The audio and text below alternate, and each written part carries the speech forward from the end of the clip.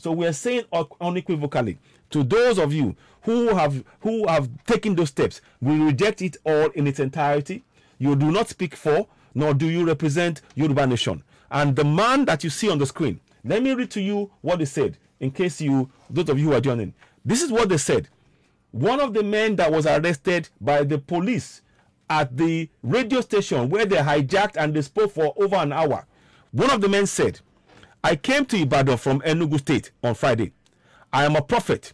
One man called Black Lion called us from United States.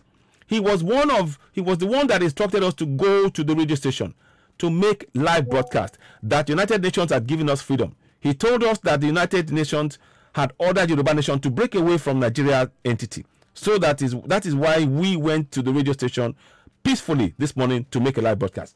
There was nothing peaceful in what they did. Let's be very clear. There is nothing peaceful. Please, if you're a Yoruba person, share this broadcast. More importantly, go and subscribe to Citizen AY on YouTube. The, as you see, what is typed on there? Hashtag C-I-T-I-Z-E-N-A-Y on YouTube. Subscribe, join us, help us grow this platform, help us reach more people. Uh, we need you all to help us, uh, you know, in raising the awareness. Because what was done here is illegal. It is unconstitutional. It is unacceptable. We reject it. We want to, we want Yoruba Nation, but we have to do it via peaceful, democratic means. That means we go via the route of um, referendum by talking to our people collectively. We do not support the act.